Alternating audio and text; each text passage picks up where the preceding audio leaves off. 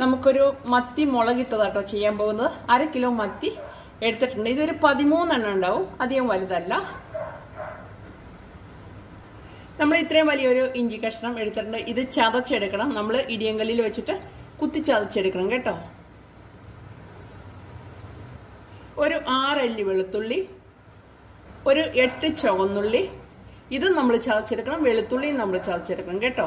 അതിന് അതിന്റെ കൂടെ കുറച്ച് വേപ്പലന്റെ ഇട്ട് ചതയ്ക്കണം. അതുപോലെ തന്നെ രണ്ട് പച്ചമുളക് നിങ്ങൾക്ക് വേണമെങ്കിൽ കൂട്ടി ചതയ്ക്കാം അല്ലെങ്കിൽ കീറിയിടാം. ഒരു പഴുത്ത ടൊമാറ്റോ പൊടിയായിട്ട് അരിഞ്ഞെടുക്കണം. നല്ല നൈസ് പൊടിയായിട്ട് അരിഞ്ഞെടുക്കണം കേട്ടോ. ഞാനിപ്പോൾ നമ്മുടെ ഇഞ്ചി ചുവന്നുള്ളി വെളുത്തുള്ളി വേപ്പില കുത്തി ചതയ്ക്കണം നമ്മുടെ പച്ചമുളക് ചതയ്ക്കണില്ല. വേണമെങ്കിൽ ചതച്ചിടാം ഈ കൂടെ ഒന്ന് ചതച്ചെടുക്കട്ടെ. അപ്പോൾ ഇതെല്ലാം കൂടി നമ്മൾ ഇതുപോലെ ഒന്ന് കുത്തി ചതച്ചെടുത്തിട്ടുണ്ട്. ഇതിൽ കൂടുതൽ നൈസ് ആവണ്ട നമ്മുടെ ടൊമാറ്റോയ്ക്ക് പുളിയുണ്ട്. എന്നാലും നമ്മുടെ മീന് അല്പം പുളി വേണം. അപ്പം ഞാൻ ഇത് ഇത്രയും പുളി എടുക്കുന്നുണ്ട്. പുളി നമുക്കിടെ സാധ് നോക്കിയിട്ട് പുളി കൂട്ടുക കുറക്കുക ചെയ്യുക. ചിലപ്പോൾ ഇതിന്റെ പകുതി പുളി മതിയാവും നിങ്ങൾക്ക്. ഇത് നോക്കി ഇപ്പം ഞാൻ ഇത്രയും പുളി ഒന്ന് ഒരു അര ഗ്ലാസ് വെള്ളത്തിലോട്ടിട്ടിട്ട് ഒന്ന് കുതിർത്തിയെടുക്കും. വേണമെങ്കിൽ നിങ്ങൾക്ക് തിളപ്പിച്ച് ഉപയോഗിക്കാം കേട്ടോ. കുതിർത്തിയാലും മതി. ഞാനിപ്പോൾ പുളി ഇങ്ങനെ ഒരു ഗ്ലാസ്സിൽ അര ഗ്ലാസ് വെള്ളത്തിൽ ഒന്ന് കുതിരാനായിട്ടിട്ടു. നമ്മളൊരു ചട്ടി വെച്ചു കേട്ടോ ചട്ടിയിലോട്ട് ഒരു രണ്ട് ടേബിൾ സ്പൂൺ കണക്കാക്കി കോക്കനട്ട് ഓയിൽ ഒഴിച്ചു കൊടുക്കണം.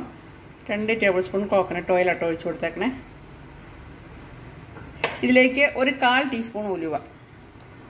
നമ്മൾ ഈ ചൂടായ എണ്ണയിലേക്ക് അല്പം വേപ്പൽ ഇട്ട് കൊടുക്കണം. ഒരു കാൽ ടീസ്പൂൺ ഉലുവ ഇട്ട് കൊടുക്കണം.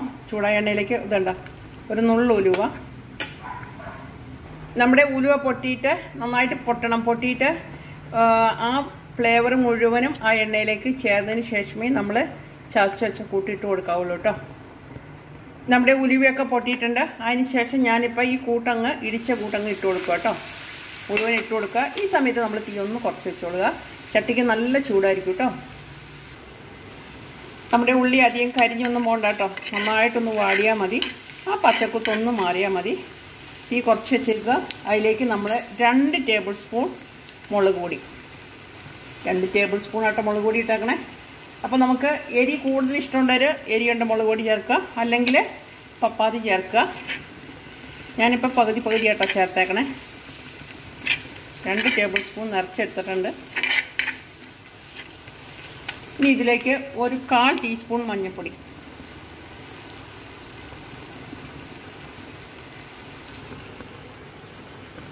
ഞാൻ ഇതിലോട്ട് ഒരു കാൽ ടീസ്പൂൺ മഞ്ഞൾപ്പൊടി ഇത് പൊടിച്ച മഞ്ഞൾപ്പൊടിയാണ് അതുകൊണ്ട് വളരെ കുറച്ച് ചേർത്താൽ മതിയാവും ഇനി നമ്മൾ ഇതിലോട്ട് ചേർക്കാൻ പോകുന്നുണ്ടല്ലോ ഇപ്പം നമ്മുടെ ഈ മുളകൊക്കെ നന്നായിട്ട് വഴന്നിട്ടുണ്ട്. ഒരു ടൊമാറ്റോനെ ഞാൻ എത്ര പീസാക്കി നോക്കി? ഇതുപോലെ കുരുകുരു നന്നായി കുട്ടി മിക്സിയുടെ ജാറിൽ വേണമെങ്കിൽ ഒന്ന് അരച്ചു എടുക്കാം കേട്ടോ. ഇതിപ്പോൾ നമ്മളിങ്ങനെ ഇങ്ങോട്ട് ഉടച്ച് ചേർക്കാം. ഒരു ഒരു രണ്ട് മിനിറ്റ് ഇതൊന്ന് നമുക്ക് മൂടി വയ്ക്കാം വെള്ളത്തിൽ പുളിയിട്ടില്ലേ? അതങ്ങോട്ട് ഒഴിക്കുകയാണ്. ആവശ്യമെങ്കിൽ അല്പം കൂടി വെള്ളം അര ഗ്ലാസ് വെള്ളം കൂടി ഒഴിക്കാം. ഇത് അധികം ചാറുള്ള ഒരു കറിയല്ല കേട്ടോ. ഇനി ഇതിലേക്ക് ആവശ്യത്തിന്റെ ഉപ്പ്. പിന്നെ രണ്ട് പച്ചമുളക് ഞാൻ ഇട്ടിട്ടുണ്ടായിരുന്നു. പിന്നെ നമ്മുടെ ടൊമാറ്റോയുടെ പുളി ഉണ്ടാവും. ഒരു അര ഗ്ലാസ് വെള്ളം കൂടി ഒഴിച്ചു കൊടുക്കണം.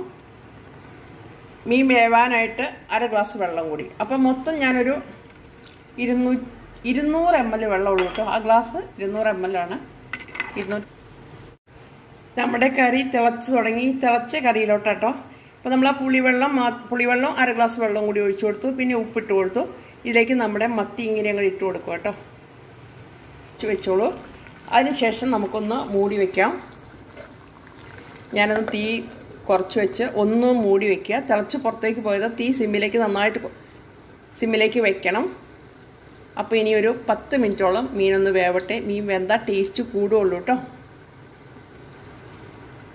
നമ്മുടെ മീൻകറി തിളച്ചിട്ട് ഒരു അഞ്ച് മിനിറ്റ് ആയിട്ടുണ്ട് നോക്കിക്കേ. ഞാനിപ്പോൾ ഇരുന്നൂറ് എം എൽ വെള്ളമല്ലേ ഒഴിച്ചോളൂ പിന്നെ തക്കാളിയുടെ വെള്ളവും പിന്നെ പാത്രം അധികം കുഴിയില്ലാത്തതുകൊണ്ട് നമുക്ക് മീൻ ഇങ്ങനെ പെരണ്ട് കിട്ടും. ഓക്കെ ഇനി നമുക്ക് ഒരു ആറേഴ് മിനിറ്റും കൂടി ഒന്ന് ചെറുതീയിൽ ഒന്ന് മൂടി വയ്ക്കാം അതിന്റെ ഇടയ്ക്ക് നമുക്ക് ഒരു പാൻ വെക്കണോ? ഞാൻ സ്റ്റൗവിലോട്ട് വെച്ചു. ഇതിലേക്ക് ഒരു കാൽ ടീസ്പൂൺ ഉലുവ ഇട്ട് കൊടുക്കുക കേട്ടോ. കൊടുത്തു. ആ ഉലുവ ഒന്ന് പൊട്ടണം. എണ്ണയൊന്നും ചേർക്കരുത് കേട്ടോ. കണ്ടോ ഉലുവ പൊട്ടുന്ന കണ്ടോ ഓരോന്നേയും പൊട്ടും. ആ സമയത്ത് കരിഞ്ഞു പോകരുത്. ഇതാണ് അതിന്റെ പരുവം. ഉലുവയൊന്ന് ഒന്ന് പാത്രത്തിൽ നിന്ന് ഒന്ന് പൊതിച്ചാടും കണ്ടോ? ഇതാണ് അതിന്റെ പരുവം. ഇനി നമ്മളിത് നൈസ് പൊടിയാക്കി വെക്കുക. നമ്മുടെ കറി ഇങ്ങനെ ഞാനൊന്ന് മൂടി വെച്ചിട്ട് പോയിട്ട് ഏകദേശം പത്ത് മിനിറ്റ് ആയിട്ടുണ്ട് കേട്ടോ. അഞ്ച് മിനിറ്റ് ആയപ്പോൾ ഞാനൊന്ന് തുറന്ന് കാണിച്ചിട്ടായിരുന്നു കണ്ടോ? കറി എണ്ണയൊക്കെ ഇങ്ങനെ തെളിഞ്ഞിട്ടുണ്ട്. ഇനി നമുക്ക് രണ്ട് മിനിറ്റ് ഒന്ന് തുറന്ന് വെച്ച് ഒന്ന് വറ്റിക്കാം. അപ്പോഴേക്കും ഞാനൊരു ചെറിയ ചട്ടി വെച്ചു കേട്ടോ ഒരു കുഞ്ഞി ചട്ടി വെച്ചു. ആ ചട്ടി ഒന്ന് ചൂടായിട്ടുണ്ട്. അതിലേക്ക് ഒരു അര ടേബിൾ സ്പൂൺ കോക്കനട്ട് ഓയിൽ. അര ടേബിൾ സ്പൂൺ ഉള്ളൂ കേട്ടോ അര ടേബിൾ സ്പൂൺ കോക്കനട്ട് ഓയിൽ ഒഴിച്ചു കൊടുത്തു. അതൊന്ന് ചൂടാകുമ്പോൾ നമുക്ക് അതിലോട്ട് ഒരു കുറച്ച് വേപ്പില വേപ്പില ഇട്ട് കൊടുത്തു.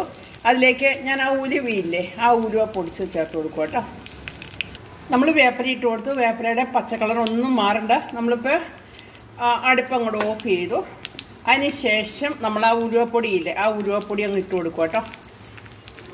അതിനുശേഷം ഒരു ഒരു മിനിറ്റ്. ഒരു ഫ്ലേവർ വരും ഉലുവയുടെ. ഇതൊന്ന് ചെയ്ത് നോക്കട്ടെ. എല്ലാവർക്കും ഇഷ്ടപ്പെടും. ആ ഇരുമ്പിന്റെ ചട്ടിയാണ് ചെറിയ ചട്ടി. ഭയങ്കര ചൂടാതുകൊണ്ടാണ് ഞാൻ സ്പൂണിൽ കോരി ഒഴിക്കുക. നമ്മൾ സ്റ്റൗ ഓഫ് ചെയ്തു. നമ്മുടെ കറി ഒരു ഒരു രണ്ട് മിനിറ്റ് നമുക്കൊന്ന് മൂടി വയ്ക്കാം. അതിനുശേഷം നമുക്കൊന്ന് നോക്കാം. ഒന്ന് മൂടി വയ്ക്കാം. ആ ഫ്ലേവർ ഒന്ന് ഇറങ്ങട്ടെ. നമ്മളൊരു പത്ത് മിനിറ്റ് കഴിഞ്ഞു കേട്ടോ മൂടി വെച്ചിട്ട്. നോക്കിയേ ഇപ്പോഴും തിള നിന്നിട്ടില്ല. നമ്മുടെ കറി റെഡി ആയിട്ടുണ്ട്. ഇത് ഇരിക്കുന്തോറും ഈ ചട്ടി ഒന്നും കൂടി ഇതിന്റെ ഗ്രേവി വലിക്കും.